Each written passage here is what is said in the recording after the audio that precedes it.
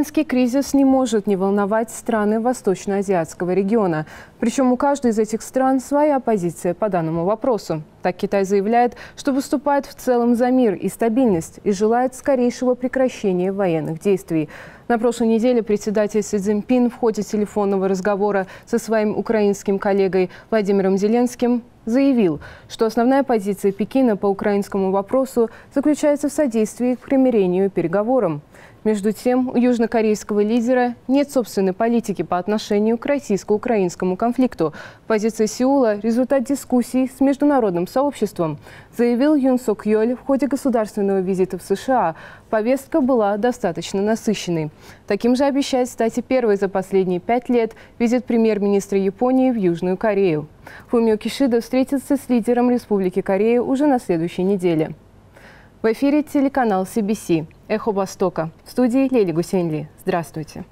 У меня был долгий и содержательный телефонный разговор с председателем КНР Си Цзиньпином. Я полагаю, что этот разговор, а также назначение посла Украины в Китае придадут мощный импульс развитию наших двусторонних отношений. Пекин направит в Украину посланника для обсуждения возможного политического урегулирования российско-украинского конфликта. Об этом председатель КНР Си Цзиньпин заявил в долгожданном телефонном разговоре с президентом Украины Владимиром Зеленским. Между тем, в официальном заявлении МИД Китая о состоявшемся звонке России никак не упоминается. Вовлеченные стороны призывают серьезно задуматься об украинском кризисе и совместно изучить пути обеспечения прочного мира и безопасности. Китай не создавал украинский кризис, не является стороной конфликта. Как постоянный член Совета безопасности ООН и ответственная держава, Китай не наблюдает со стороны, не подливает масло в огонь, тем более не наживается на этом кризисе. Именно так Си Цзиньпин охарактеризовал позицию официального Пекина. По его словам, китайская сторона ведет себя достойно и честно. Судя по комментариям, официальным комментариям украинских официальных лиц, э, китайские предложения к мирному урегулированию по Украине – они нашли понимание в офисе президента, и они сегодня воспринимаются украинской стороной как основа для возможного диалога. Поэтому мне кажется, что этот звонок был успешен в этой части. И решение о назначении посла Украины в Китае и решение о назначении специального представителя Китая по мирному урегулированию являются маркерами успеха этих переговоров. Китайская позиция и китайские предложения в Киеве готовы их рассматривать, понимая статус э, Китая и его возможности участия в мирном урегулировании. Я думаю, что только у Китая, э, как страны, как страны которая соблюдает действительно нейтралитет в этой войне, есть реальные шансы начать говорить о мире, начать мирный переговорный процесс. Э, и этот процесс, безусловно, будет длительным и сложным. Безусловно, пока все стороны очень далеко от написания конкретного плана мирного с, с датами, обязанностями сторон. Но э, вырабатывать принципы, э, выработка принципов этого диалога и выработка моделей будущего мирного урегулирования вполне сегодня по силам китайской дипломатии, а главное, что Украина готова прислушаться к этим предложениям. Звонок, который стал первым контактом между Си Цзиньпином и Владимиром Зеленским после начала украинского кризиса, приветствовали на Западе. Кремль тем временем поддерживает любые шаги, которые могут поспособствовать скорейшему регулированию конфликта.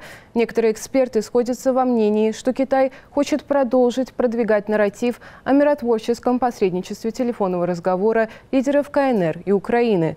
Популярнее же мнение, что размах поднебесный куда больше. Ведь Китай предоставляется возможность выступить медиатором на глобальном уровне и показать, что именно он является ведущим государством в международных процессах. Роль, которую, кстати, КНР выполняет не в первый раз. Что кроется за дипломатическими инициативами Китая и каковы их шансы на успех, обсудим со специалистом по международной стратегии Эндрю Люнгом. Здравствуйте, мистер Люнг. Какое значение, по вашему мнению, имеет телефонный разговор между президентом Зеленским и председателем Си? И как проявит себя Китай в урегулировании российско-украинского конфликта? Каковы перспективы у Пекина как медиатора, учитывая недавний и крайне успешный опыт в налаживании отношений между Ираном и Саудовской Аравией?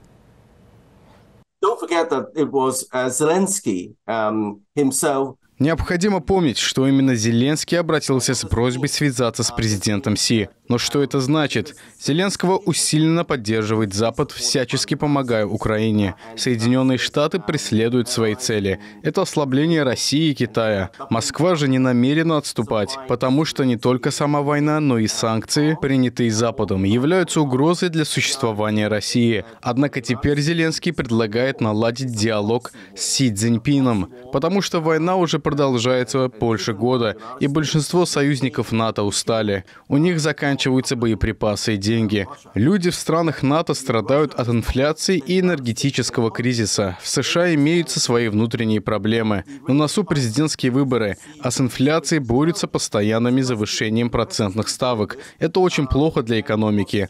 Если это плохо для экономики, то в преддверии выборов плохо и для президента Байдена. Поэтому можно предположить, что они хотят окончания войны, но исключительно на своих условиях. Тем не менее, Владимир Зеленский решил обратиться к Китаю с приглашением посредничества. Китай же не хочет войны. Она негативно сказывается на экономике страны. Ведь если другие страны оказываются под экономическим ударом, то страдает экспорт Китая. США же сводит Китай и Россию, объявляя их своим заклятым врагом. Даже до войны Россия и Китай были взаимосвязаны. Россия самый крупный экспортер энергетики, а Китай самый крупный покупатель. Стоит помнить, что между двумя странами имелись и достаточно спорные вопросы. В свое время возник вопрос Сибири, хотя отношения государств с тех пор и наладились. Но факт остается фактом президент Си Цзиньпинь ведет Китай потенциальным посредником, что положительно скажется на мировой репутации КНР. Природа же мирного соглашения зависит от ситуации на фронте. В настоящее время в ключевых городах Украины продолжаются сражения. Если последствия войны окажутся катастрофическими для Украины, то она будет более склонна к мирному соглашению. Также и наоборот, Запад сможет выдвинуть свои условия потерпевшей поражение России. Если война завершится при нынешнем раскладе, то это не выгодно для НАТО и союзников. При этом весь остальной мир измотан затянувшимися сражениями. Поэтому на голосованиях в ООН мало кто присоединяется к предложенным США санкциям по отношению к России. В этом случае Китаю выгодно играть роль посредника, как в ситуации с Ираном и Саудовской Аравией. Дипломатические отношения между двумя странами наладились при непосредственном вмешательстве председателя КНР Си Цзиньпина. А какова роль Шанхайской организации сотрудничества в уравновешивании баланса сил между Китаем и Западом? Ведь не так давно в Нью-Дели глава внешнеполитического ведомства России пригласил коллег из Шанхайской организации сотрудничества принять участие в очередной конференции по международной безопасности в Москве. А, кроме того, министры обороны России Сергей Шойгу и КНР Ли Шинфу на полях совещания глав военных ведомств стран-участниц ШОС обсудили вопросы, представляющие взаимный интерес. Шанхайская организация сотрудничества была основана Россией и Китаем после террористических атак на Ближнем Востоке. По этой причине нет ничего удивительного в том, что состоялась встреча между председателями внешнеполитических ведомств двух стран. Организация развивалась в определенный блок, возглавляемый не только Россией и Китаем, но и странами Центральной Азии. Некоторые из этих стран, как Таджикистан и Туркменистан, не имеют выхода выхода к путям водного сообщения. Эти страны богаты минеральными ресурсами, однако отсутствие выхода к морю не позволяет им осуществлять экспорт. А это единственное, что они могут сделать, потому что в этих странах не разрабатывают телефоны и другую технику. Этого не позволяет инфраструктура, ведь многие из них были заперты в нищете. И вот появляется Китай, который соединяет эти страны со всем остальным миром, создавая возможность экспортировать свои ресурсы. Следовательно, экономика экономика и жизнь населения улучшается. С тех пор все больше соседних стран присоединяются к ШОС, потому что другие страны не хотят быть обязанными перед США. Многие не хотят следовать американскому инструктажу. Среди них не только страны Центральной Азии и Среднего Востока, а также Латинской Америки и Африки, потому что подход Америки к внедрению своего влияния в развивающиеся страны отличается от китайского. США вкладывается в коммерческие компании и проекты, которые в дальнейшем окупят инвестиции инвестиции. Тем временем Китай строит больницы, школы, дороги. Если хочешь помочь голодному, дай ему удочку, а не рыбу. Именно такого принципа придерживается Китай. Благодарю, мистер Люнг.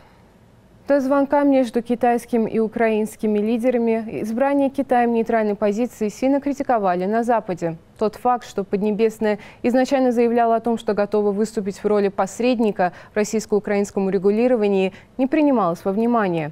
Однако осуждать изначально действительно нейтральную позицию Южной Кореи по этому вопросу в Белом доме не стали. Выступая в Гарвардском университете на пятый день государственного визита по случаю 70-летия Союза США и Южной Кореи, президент Юн Сок Йоль заявил, что у Республики Корея нет самостоятельной позиции по отношению к событиям в Украине. Политика Сеула в этом вопросе – результат дискуссий с международным сообществом. Ранее южнокорейский лидер заявил, что внимательно следит за ситуацией в Украине – и власти страны примут соответствующие меры с целью поддержания международных норм и международного права.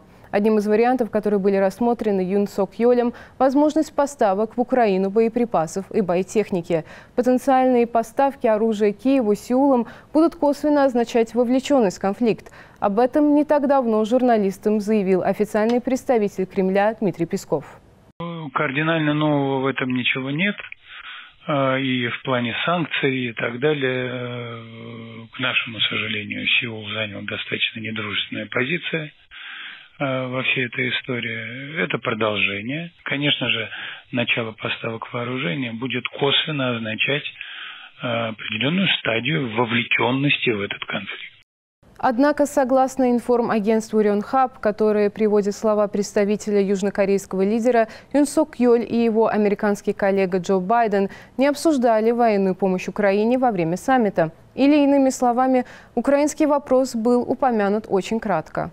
Мы говорили о том, как увеличиваем гуманитарную помощь, финансовые взносы и невоенную поддержку Киева. Мы сказали, что примем участие в обсуждении восстановления Украины в сотрудничестве с Соединенными Штатами. Помимо этого, не было никакого обсуждения прямой военной поддержки. Это далеко не единственное, что можно почерпнуть из визита президента Южной Кореи в США. The latest visit of the president of the Republic of Korea, Yoon Suk-yeol, Последний визит президента Южной Кореи Юн Сок Йоля в США является историческим в стратегическом партнерстве между Сеулом и Вашингтоном. Заявление, с которым выступил президент Юн перед совместным заседанием Конгресса, стало важной вехой межгосударственного сотрудничества. Нынешняя администрация США уделяет особое внимание этим двусторонним отношениям, учитывая угрозу, которую представляет КНР для безопасности и внешней политики Вашингтона. Военные учения вокруг Тайваня являются угрозой для демократического миропорядка. В США проживает многочисленное сообщество американских корейцев, которые охватывают львиную долю национальной экономики. Мы также впервые избрали двух председателей этого сообщества в Палату представителей США. У дипломатических отношений между США и Южной Кореей яркое будущее. Визит южнокорейского лидера в США запомнился также более непринужденным эпизодом. Во время официального ужина в Белом доме президент Юн Сок Йоль упомянул, что еще в школе песня «Американский пирог» была его любимой. В ответ Джо Байден попросил услышать его исполнение.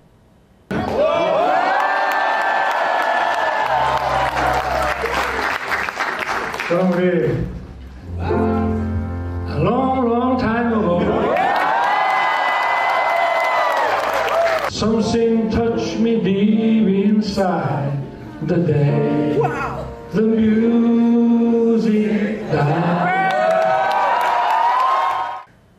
Встреча Юн Сок Йоля с Джо Байденом не осталась без внимания КНР. Великая победа в войне по противодействию агрессии США и оказанию помощи Корее важна как для Китая, так и для всего мира, заявил официальный представитель Министерства иностранных дел Маю Нин на брифинге для прессы в Пекине.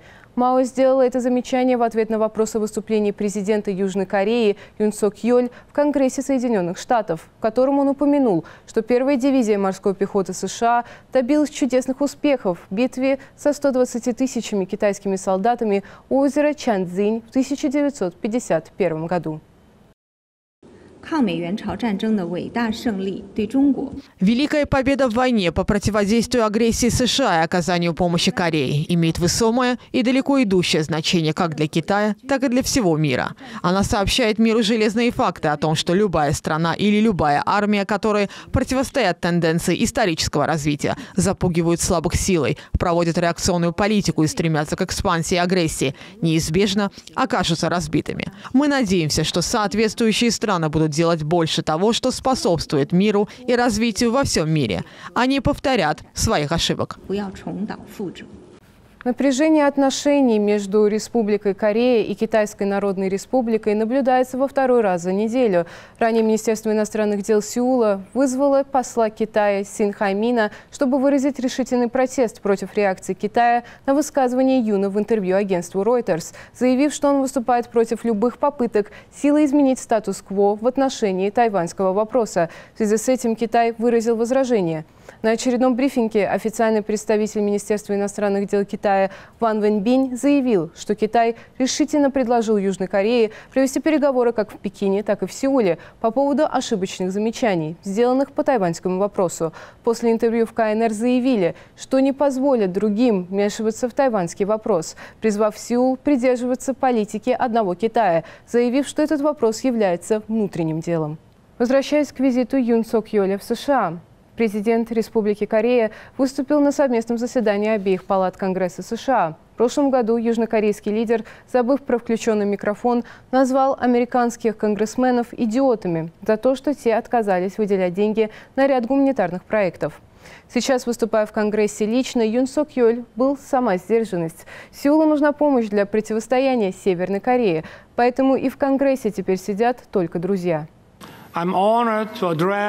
Нам нужно ускорить трехстороннее сотрудничество Южной Кореи, США и Японии в области безопасности, чтобы противостоять растущей ядерной угрозе со стороны Северной Кореи. Вашингтон согласился периодически размещать американские атомные подводные лодки в Южной Корее и привлекать Сеул к планированию ядерных операций. Взамен Южная Корея зареклась не разрабатывать собственное ядерное оружие. Также президенты США и Южной Кореи заявили о своей поддержке идеи единого, свободного и мирного корейского полуострова в совместном заявлении, поднимая вопросы о том, какую роль, по мнению союзников, будет играть правительство Ким Чен Ына, если такое будущее осуществится. Тем временем влиятельная сестра северокорейского лидера Ким Чен Ына нанесла ответный удар ключевому соглашению, заключенному между США и Южной Кореей, заявив, что оно только ухудшит безопасность. Она раскритиковала президента Джо Байдена за его заявление о том, что любая ядерная атака против США и их союзников приведет к падению северокорейского режима. Однако визит президента в Юна в США способствовал улучшению отношений с другим соседом. Премьер-министр Японии Фумио Кисида намерен в начале мая посетить Республику Корея и провести переговоры с президентом страны Юн Сок Йолем. Поездка, по предварительным данным, должна состояться с 7 по 8 мая. Собеседники рассчитывают обсудить некоторые двусторонние вопросы, а также региональные проблемы. В первую очередь, связанные с ракетно-ядерной программой КНДР. Кроме того, Кисида намерен заручиться поддержкой Сеула в преддверии саммита G7 в Хиросиме, куда приглашен Юн Сок Йоль. Это будет первый визит главы японского правительства в Южную Корею за последние пять лет – в феврале 2018 года предшественник Кисиды Синзо Абе присутствовал на церемонии открытия зимних Олимпийских игр в Пхенчхане. Отношения Японии и Южной Кореи ухудшились несколько лет назад на фоне обострения двусторонних споров по историческим вопросам. Однако после прихода к власти Юн Сок Йоля стороны стали предпринимать шаги для нормализации сотрудничества. В марте текущего года южнокорейский лидер посетил Токио, а министр иностранных дел Пак Чин – представил план разрешения спора вокруг компенсации жертвам принудительного труда во время японского колониального правления. Эта тема была одной из наиболее острых в отношениях двух государств. После этого Токио отказался от введенных в 2019 году экспортных ограничений на три вида материалов, необходимых для производства полупроводников. В ответ Сеул отозвал жалобу, направленную во Всемирную торговую организацию. 24 апреля Республика Корея вернула Японию в список привилегированных торговых партнеров, который упрощает процедуры, необходимые для экспорта стратегических товаров. Япония сейчас также проводит необходимые согласования, чтобы вернуть Южную Корею перечень стран, имеющих аналогичный статус. Возможно, визит японского премьера поспособствует реализации этих планов как можно скорее. Это была передача «Эхо Востока». С вами была Лили Гусейнли. До скорых встреч.